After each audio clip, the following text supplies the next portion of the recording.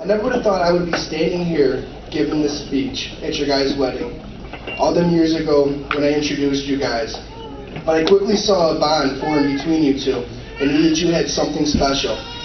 I know deep down inside that you guys will be together until the end of times. Not everybody finds their soulmates, but you guys did.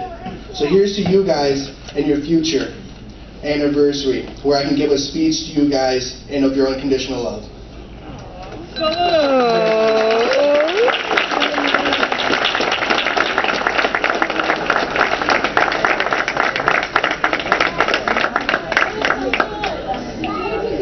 I, I wrote it myself.